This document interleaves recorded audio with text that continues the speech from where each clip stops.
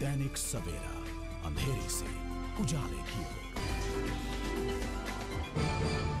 अमृतसर के ढपाई रोड पर शिरोमणी जरनैल अमर शहीद बाबा जीवन सिंह जी धर्म प्रचार कमेटी ऑल इंडिया की तरफ़ से बाबा जीवन सिंह जी एवं उनके भाई संगत सिंह जी का शहीदी दिवस श्रद्धा भावना के साथ मनाया गया।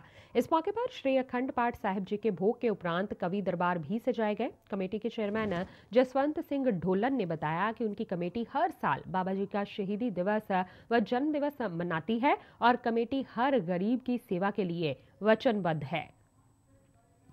ਦੇਸੀ ਅੰਗੜ ਪਾਰੀ ਪਿੱਛੋਂ ਮੇਰੀ ਆਵੇ ਆਲੇ ਤਾਕਤ ਪਾਰੀ ਪਿੱਛੋਂ ਮੇਰੀ ਆਵੇ ਆਲੇ ਤਾਕਤ ਪਾਰੀ ਅਮਰ ਸ਼ਹੀਦ ਬਾਬਾ ਜੀਵਨ ਸਿੰਘ ਜੀ ਧਰਮ ਪ੍ਰਚਾਰ ਕਮੇਟੀ ਆਲ ਇੰਡੀਆ।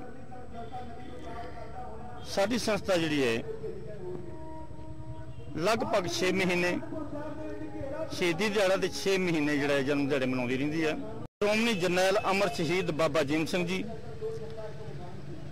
ਦਸਵੇਂ ਪਾਤਸ਼ਾਹ ਗੁਰੂ ਗੋਬਿੰਦ ਸਿੰਘ ਜੀ ਵੱਲੋਂ ਕਲਗੀਧੋੜੇ ਦੀ ਬਖਸ਼ਿਸ਼ ਹਾਸਲ ਕਰਤਾ ਬਾਬਾ ਜੀਵਨ ਸਿੰਘ ਜੀ ਛੋਟੇ ਭਰਾ ਬਾਬਾ ਸੰਗਤ Singh ji.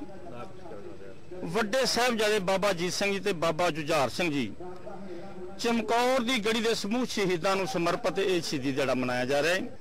All India registered ਤੋਂ ਅਸੀਂ ਹਰ ਸਾਲ ਦੀ ਤਰ੍ਹਾਂ ਸ਼੍ਰੋਮਣੀ ਜਨਰਲ ਅਮਰ ਸ਼ਹੀਦ ਬਾਬਾ ਜੀਵਨ ਸਿੰਘ ਇਹਨਾਂ ਦਾ ਸ਼ਹੀਦੀ ਦਿਹਾੜਾ ਔਰ ਚਮਕੌਰ ਦੀ ਗੜੀ ਦੇ ਸਮੂਹ ਸ਼ਹੀਦਾਂ ਦਾ ਸ਼ਹੀਦੀ ਦਿਹਾੜਾ ਜਿਹੜਾ ਉਹ ਮਨਾ ਰਹੇ ਹਾਂ।